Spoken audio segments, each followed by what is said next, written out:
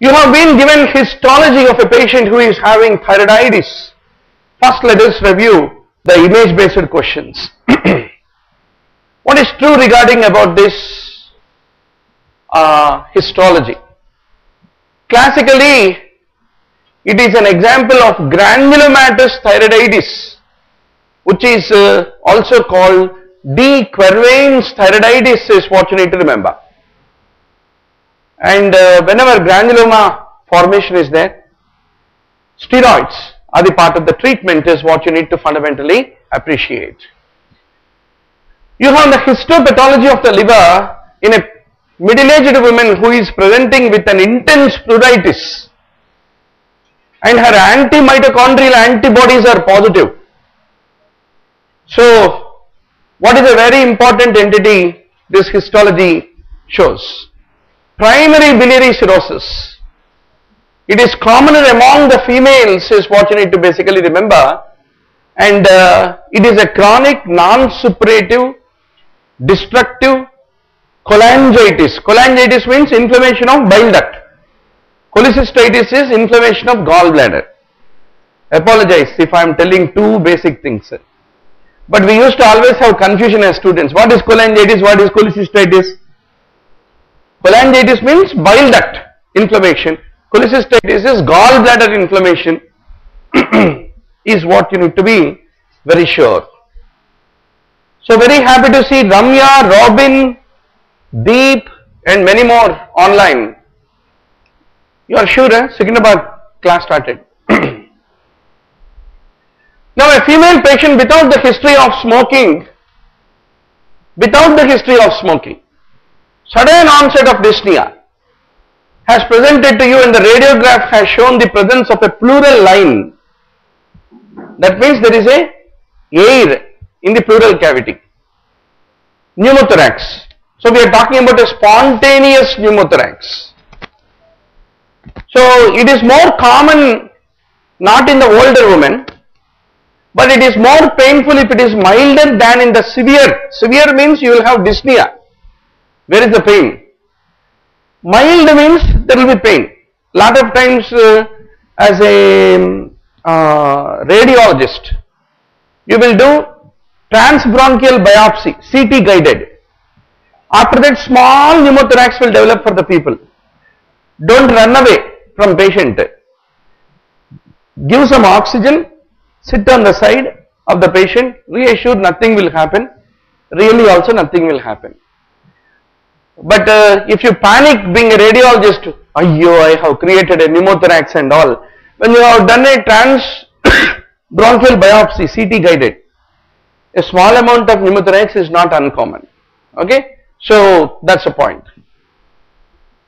Now you have been shown the histology looking at the histopathological appearance. Uh, what do you like to call this as? Also you have been given ERCP and MRCP imaging where you have beaded appearance of the biliary tree. So primary sclerosing cholangitis is your uh, diagnosis in this uh, given case. So it can even involve gallbladder. It is very commonly seen as an extra-intestinal manifestation of inflammatory bowel disease like ulcerative colitis and uh, there will be repeated dilatation and strictures is a typical appearance which you will have. there is no increased risk of developing any bile duct stones in primary sclerosing cholangitis is what need to be remembered. A 57 year old diabetic with a 6 week history of pyrexia of unknown origin, he had a CT abdomen. CT abdomen. What is uh, the possibility in this given case? See doctor, very easy to interpret CT. If you know what is there in abdomen, you will know what is there in CT. You have a liver on the right side then on the left then you have these two kidneys. Then you have these two kidneys. You see the other kidney, there is a, a cystic lesion in that kidney, whereas this kidney, this kidney is normal, but this kidney has got a cortical area, one big lesion, which is in a contrast enhancing border is there for it, which is feature of abscess. So what she is having is basically a renal abscess is what uh, you need to basically conclude. Huh? Uh, it all depends on the uh, CT attenuation values. Typically if it is a bleed then it won't be low attenuating lesion, it will be a high attenuating lesion which is the difference between the two is what you need to remember.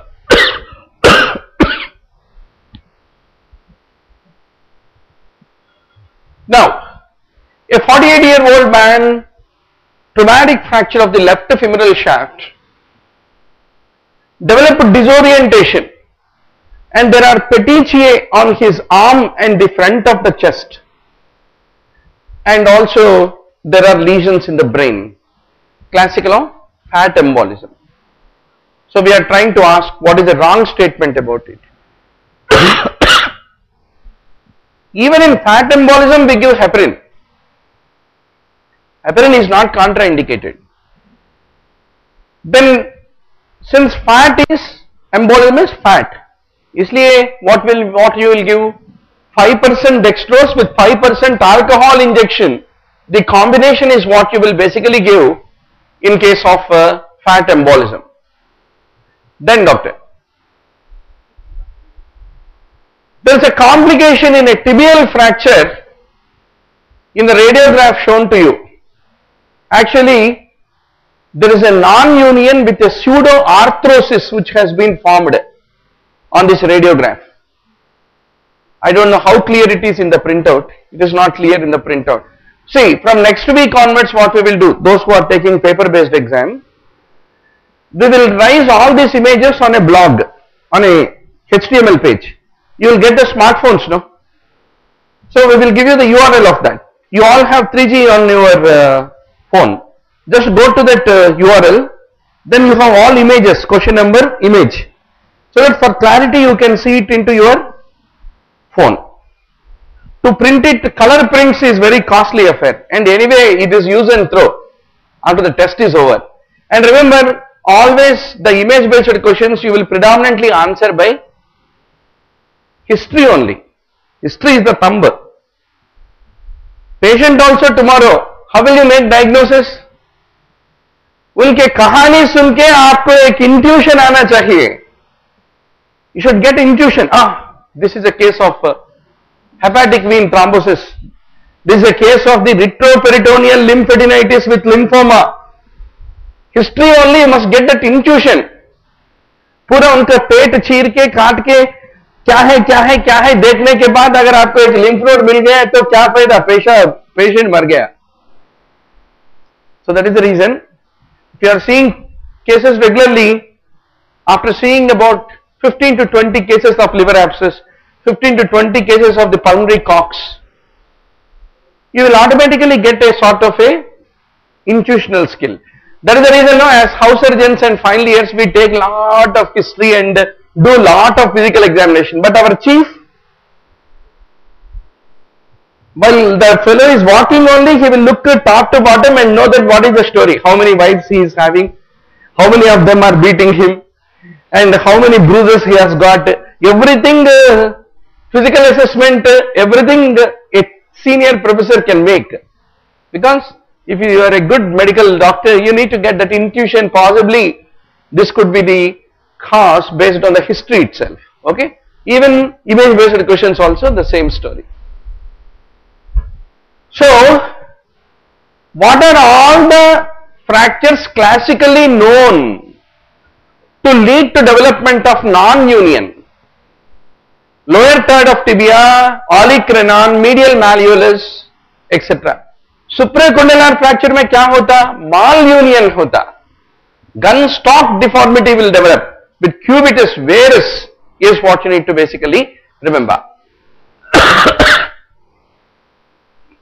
then there is a bone tumor. it is involving the shaft. Only two tumors involve shaft in the bone. Benign tumors may osteoid osteoma, malignant tumors may Ewing sarcoma. They are only diaphyseal. Okay. Then there is also a central sclerotic nidus. There is a pain, nocturnal, relieved with salicylates. All this must make you to think of only one tumor that is osteoid. Osteoma is what you have to basically remember. And uh, uh, is it accept question? Huh? Uh, then the correct answer should be B, not D. I was uh, while framing question, no. Sometimes we will be thinking something and uh, suppose we restructured option B, uh, in forgetfulness we will put D. Correct answer is actually B, diaphysis. One small correction in the key. Now, there is a bone tumor typically involving the epiphysis and uh, metaphyseal area and there is a lifting of the overlying periosteum called Codman's triangle. It is a bone forming tumor, osteogenic sarcoma and uh, the most common location uh, is uh, not epiphysis. yeah, it is not epiphysis, it is metaphysis and radiation therapy is not used in case of osteogenic sarcoma, not much useful. And uh, there is a cloud-like appearance on plain X-ray and peak incidence is between 10 to 25. If osteogenic sarcoma occur after 40, commonly it is due to, it is secondary to what underlying condition? If it occur after 40. Paget's disease, osteogenic sarcoma banta na? So whenever it arises from Paget's disease, then it will be after 40 is what need to be remembered. Very good. Rajalakshmi is absolutely giving scud missile like answers, Paget's disease. Eh? See, by the time it is August, you should not take August is okay, September is also okay, but October a 200 marks paper if it is given for 3 hours you must solve it in 2 hours and come out. How much time you are taking to solve the question paper also is a sign of your preparedness. Is PG entrance mathematics exam? मालूम है या नहीं मालूम कबूल है या ना कबूल ना कबूल खत्म वहाँ आप हम कबूल करने को सोच रहे, देख रहे, हैं? ख्याल में है।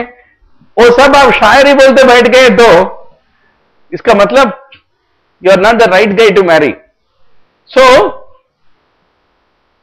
how fast reflexly you will answer because if you know ten ten point want examiner want in every topic automatically you will answer very fast because you need to only choose So that is the reason always think uh, how much score you got is okay, fine. But uh, how fast you are able to answer also is an index of uh, how thorough is your preparation, let me tell you. Same paper if you are taking 4 hours to answer or very painfully answering or thinking a lot about each question and answering means you are not uh, up or down na. You have to rise and uh, run. my job is to make you to rise and run.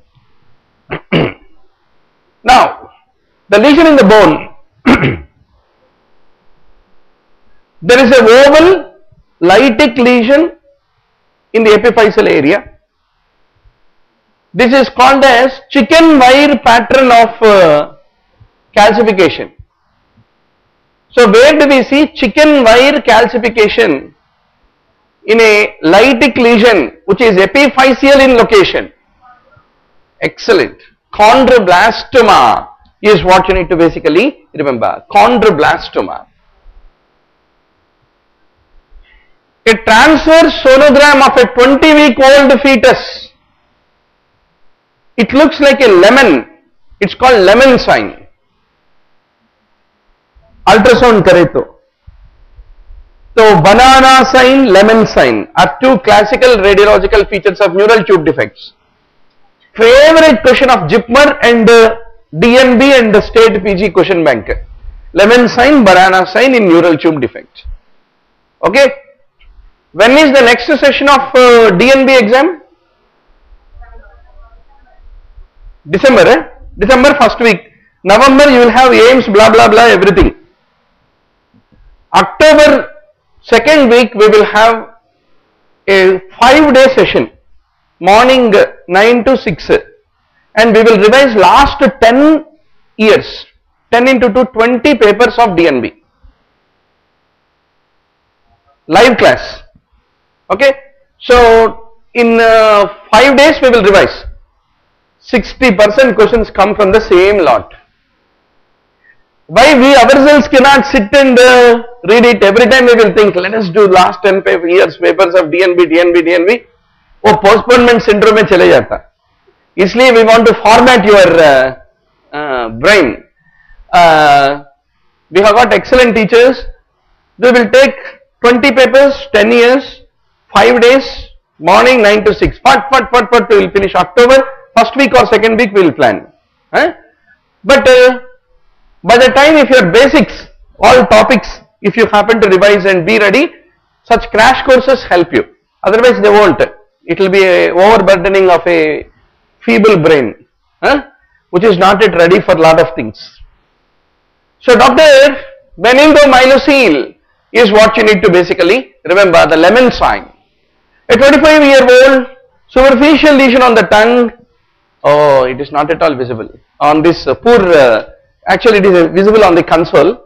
Um, next time we'll get a better LCD projector. Actually it is a lichen planus lesion.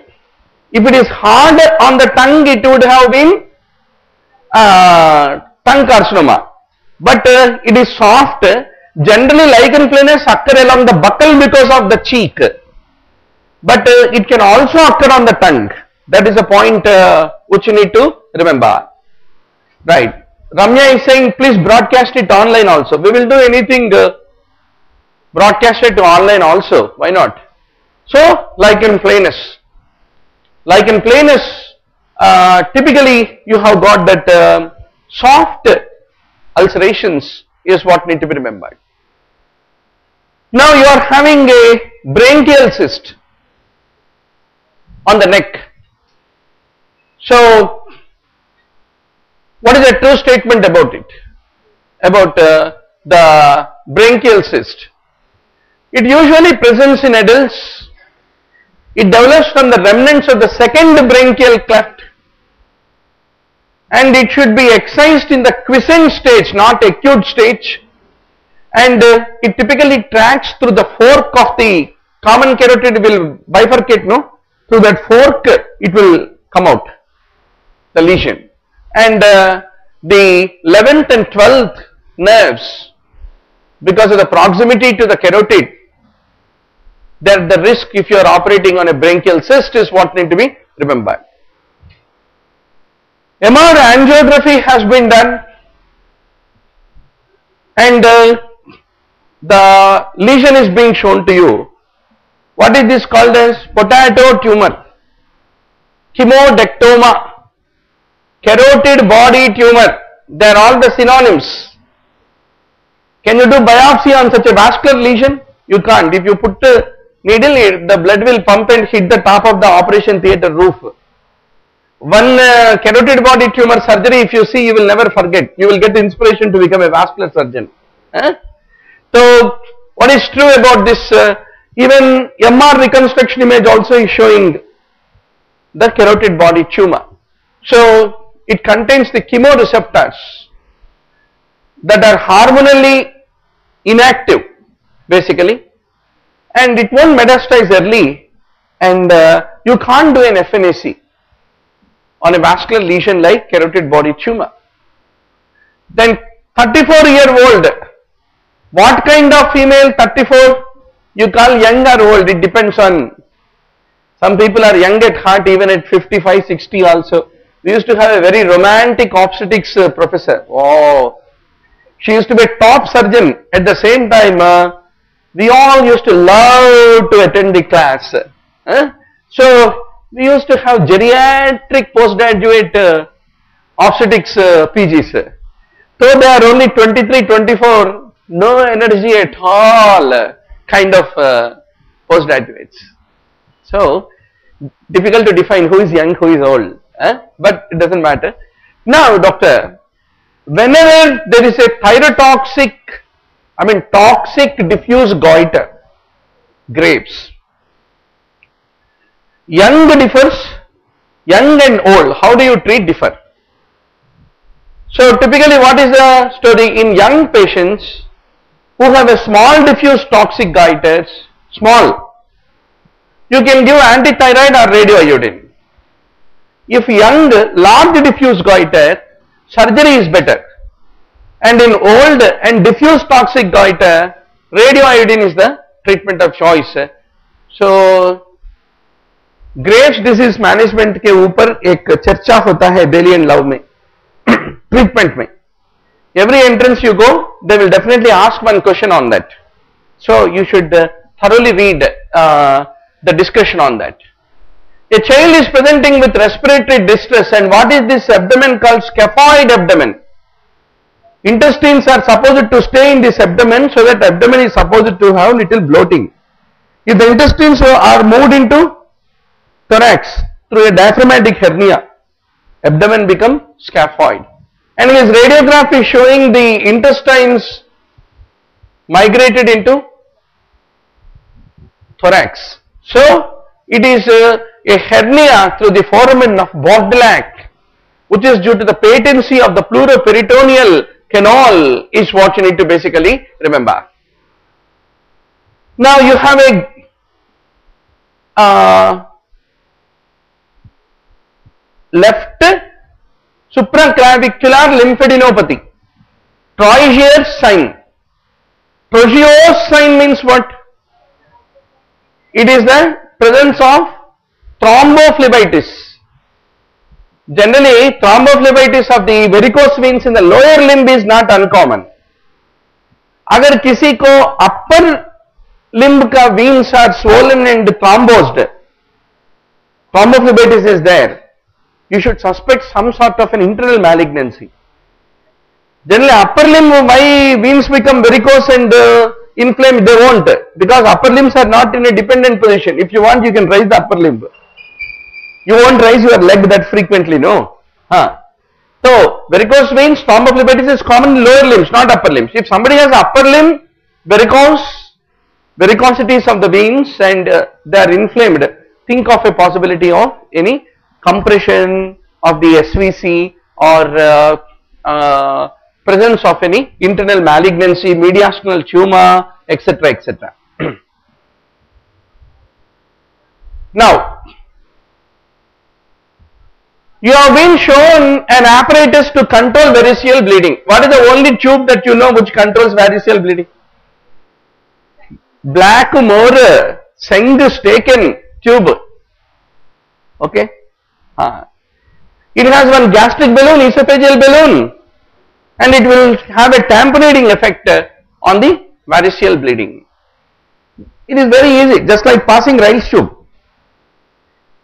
As a house surgeon you should take chance to pass one Sengstaken tube in a alcoholic cirrhotic patient with esophageal variceal bleeding and stop the bleeding. Oh, one opportunity you get means you feel in housemanship that uh, oh your hands are uh, very expert hands so housemanship uh, खेलते खेलते करना जब night duties आता है you must keep today night I have to finish at least half a dozen CSF lumbar punctures another half a dozen pleural effusion taps another 3 to 4 thrombolysis one or two intubations early morning eight O clock हो जाएगा morning हो eight ओ clock खेलते खेलते वो हो जाएगा and uh, कितने मिलते हैं अपॉर्चुनिटीज वैसे unforgettable evenings to spend medicine surgery गाइनॉप्स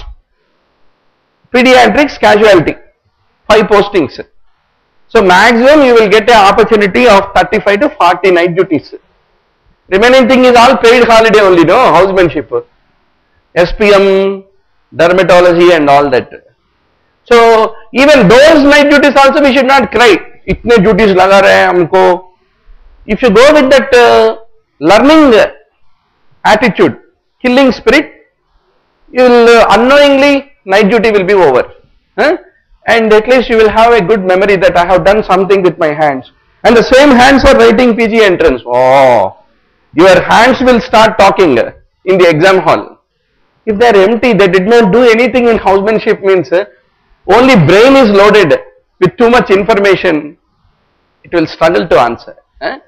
So, Sengstaken Blakemore tube.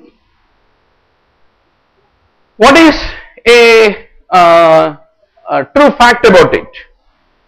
The gastric balloon should always be inflated first and uh, then the esophageal balloon. That is an important principle. now patient is having fever and abdominal pain and uh, in the liver you are finding a space occupying lesion which is so showing a accentuation on a contrast enhancement with contrast enhancement. So it is a liver abscess. Pyogenic liver abscess are generally multiple. So it's more likely a amoebic liver abscess.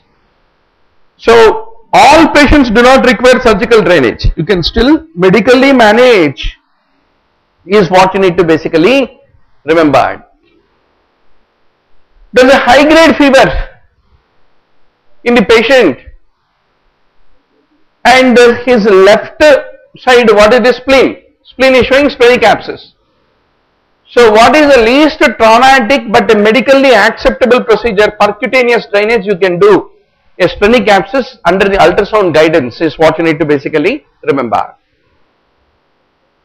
Now you have been shown a special needle which is used for percutaneous transhepatic cholangiography एक needle एक forceps एक suture material कुछ ना कुछ होता है आजकल की इमेज बेस्ड एंट्रेंस में। है? तो what type of needle is use for PTCA what we use is called Chiba needle what is Veress needle laparoscopy करते वक्त न्यूमोपेरिटोनियम क्रिएट करने के लिए जो नीडल इस्तेमाल करते हैं, उसको बोलते हैं Veress needle Then Tru-Cut needle is used for biopsies. It is like a gun. Then you will snatch a little tissue out. It's like a gun. Eh? Then uh, needle is for liver biopsy is what need to be remembered. Now there are some imaging findings which have been shown. What is this? Pancreas has become annular and uh, it is around the duodenum annular pancreas this is so, what is not true about it? It is more prevalent in children with Down syndrome. There can be double bubble sign, anomalies associated with increased risk of pancreatitis. They are all true. And it is due to incomplete rotation of the ventral pancreatic bud, not because of excessive rotation of the dorsal pancreatic. That's a point you need to appreciate a 60 year old who has got an obstructive jaundice. what do you see here? Gallbladder is enlarged and there is a mass in the head of the pancreas. So this is a carcinoma of the head of the pancreas. To do the correct staging, what is most sensitive uh, investigation that you can do to do the to know the size of the tumor, infiltration, etc. etc. CT can show. So MRI is also good. CT can definitely show. So CT can very much be used in order to do the staging is what you have to basically remember. but if you use ERCP or MRCP, magnetic resonance cholangiopancreaticography or endoscopic retrograde cholangiopancreaticography. At most you can tell that the bile duct is compressed because of that uh, head of the pancreas but you can't tell whether that head of the pancreas has gone to the surrounding tissues or not because in uh, ERCP or MRCP you can't know whether the surrounding tissues infiltration high or high. So that is the reason they can diagnose but they can't talk about the resectability of the lesion is what you need to basically remember. Patient has recurrent episodes of hypoglycemia relieved by taking sugar. It's a classical example of Somogyi symptoms, eh? phenomenon, not phenomena. Somogyi symptoms. His imaging is being shown. What is it is showing? Pancreas head में एक small lesion it is showing. What are the lesions possible in the head of the pancreas? Insulinoma, glucagonoma, somatostatinoma, etc. If glucagonoma is there, then what is an important paraneoplastic manifestation of glucagonoma on the skin? Migratory necrolytic erythema. Migratory necrolytic erythema is the paraneoplastic manifestation of glucagonoma. If it is somatostatinoma or VIPoma, then what will you get? Vada, watery diarrhea with hypokalemia with achlorhydria. The combination. Vada syndrome. You didn't study? No problem. Every year we are teaching the same. So authoritatively talking about it.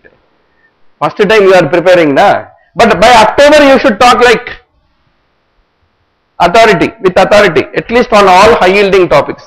Okay, doctor? Ah. So that is the point, doctor. What you have here is insulinoma. If a small insulinoma is there, what will you do? Enucleation. 1 centimeter insulinoma is enucleation. Pluck it out like a, you pluck it a mole or a pluck out a pimple. You pluck it out and throw. That's what you will do on pancreas. Enucleation. So that is the story of images.